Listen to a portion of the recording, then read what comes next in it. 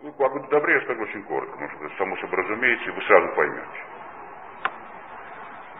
Вот мы говорим, человек стремится к добру.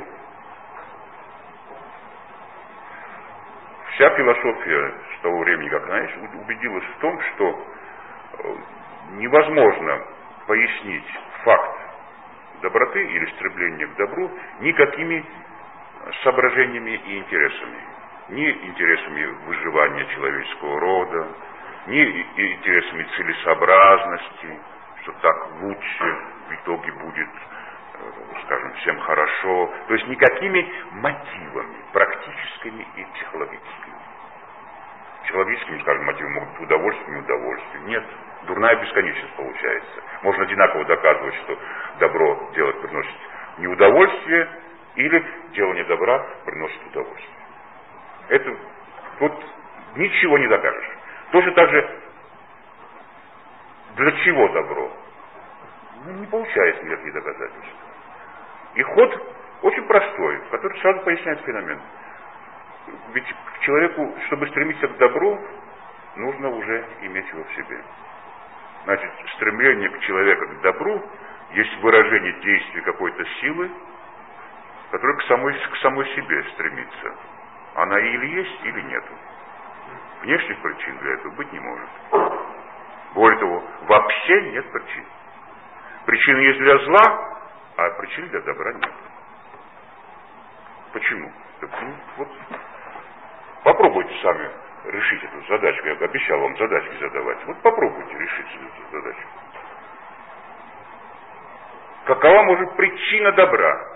Так добро по определению. Мы в области добра, то есть в области нравственности, там, нет, нет никаких причин или других причин быть нравственным.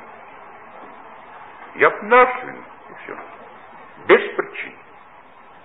А если есть другие причины, это уже философское утверждение, любой философ грамотный нам скажет. Если есть другие, если есть причины, то мы вообще вне сферы нравственности. Вот наблюдаете картину поступков человеческих, и их классифицируете. Вы говорите, вот этот, ну, потому что он испугался, поступил так. Этот был голоден, поэтому, скажем, он украл хлеб. Или этот потому-то не сделал того-то или сделал, каждый раз есть причины. Вы не, не замечаете, что вы нуждаетесь в причинах объяснения каждый раз только в случаях аморальных поступков.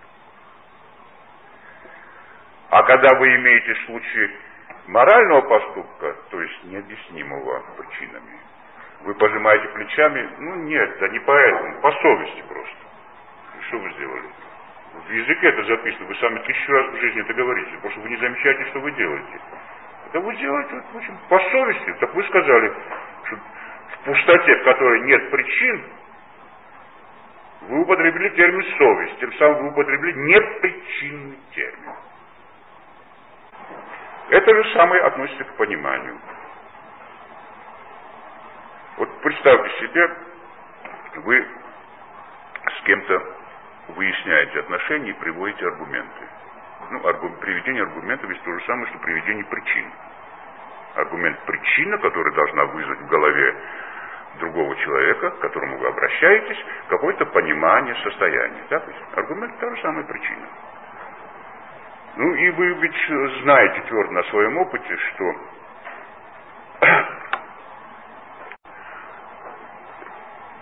что аргументы приводится только в ситуации, когда исчезло взаимное понимание,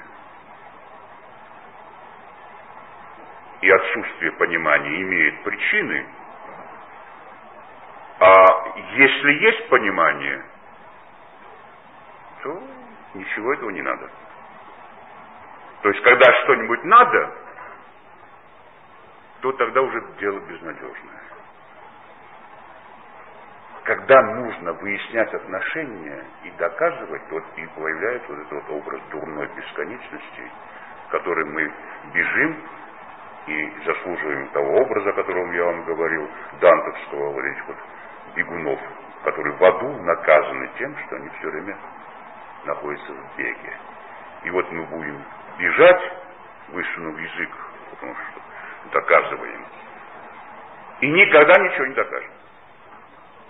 Иначе говоря, причины или эмпирические факты есть только для непонимания, а для понимания нет причин.